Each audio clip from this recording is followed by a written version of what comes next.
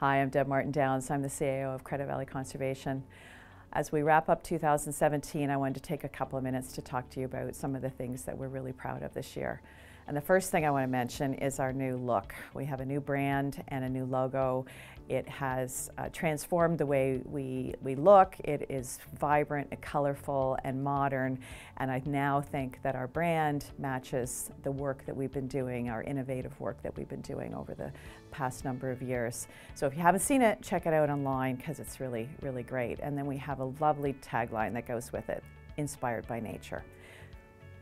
We were really pleased to finish our Credit Valley Trail strategy this year. It was approved by the board a couple of weeks ago.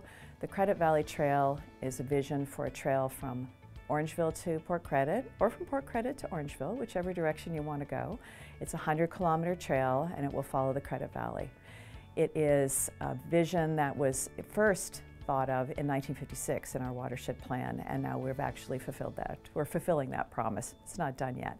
The Credit Valley Trail is probably a 25-year project to work with our partners and with landowners to, to make it a reality, but we're really excited about the opportunity to do so. And one of the best parts about the, the trail project is the work we're doing with the Indigenous community to build an Indigenous experience into the trail. So 2018, we get on to the real work of starting that project. We were really fortunate to have received funding and support from our partners to develop a stage uh, at Island Lake Conservation Area.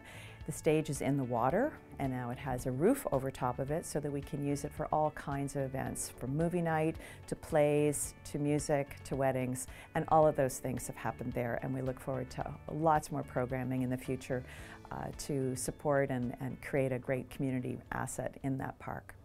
The final thing I want to mention as being great accomplishments for this year and, and every year is all the monitoring work that our staff do. Every day of every year, they are out there in all kinds of weather collecting information on water, groundwater, plants, animals, birds, bugs, you name it, and we collect information on it.